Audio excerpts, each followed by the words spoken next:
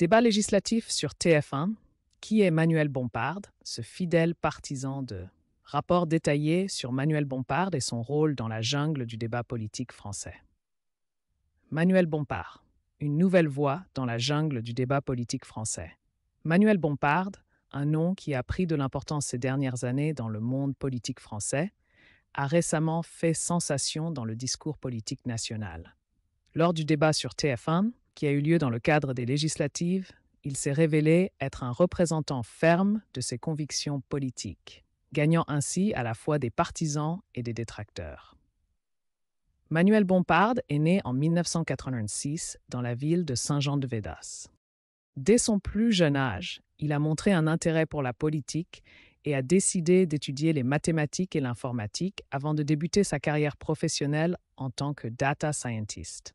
Ses racines dans la science et ses compétences analytiques sont aujourd'hui un élément essentiel de son argumentation politique.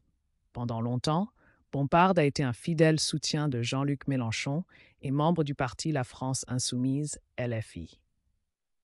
C'était pas surprenant quand il a travaillé en tant que directeur de campagne pour la campagne présidentielle de Mélenchon en 2017. Ce rôle lui a permis d'occuper une place solidement ancrée dans la hiérarchie du parti et de devenir l'une des personnes les plus influentes au sein du parti.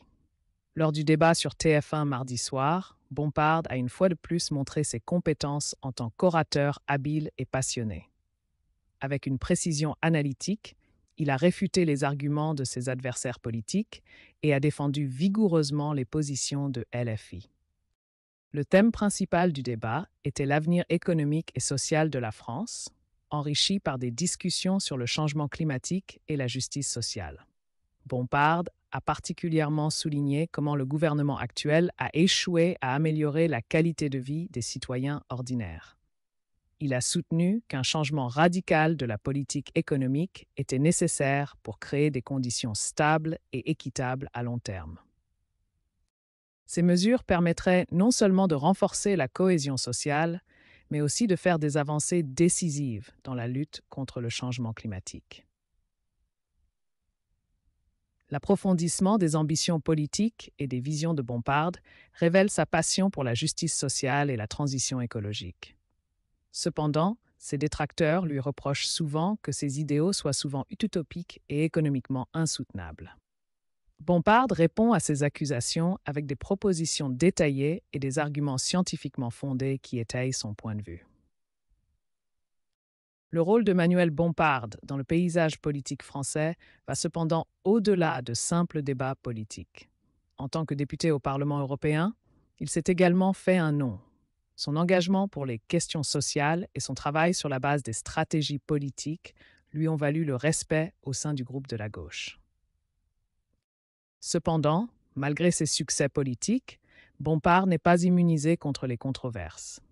Les critiques déplorent ses tactiques, parfois perçue comme confrontative et agressive. Il est souvent critiqué pour son attitude dure et son comportement inflexible, en particulier dans des débats politiques passionnés.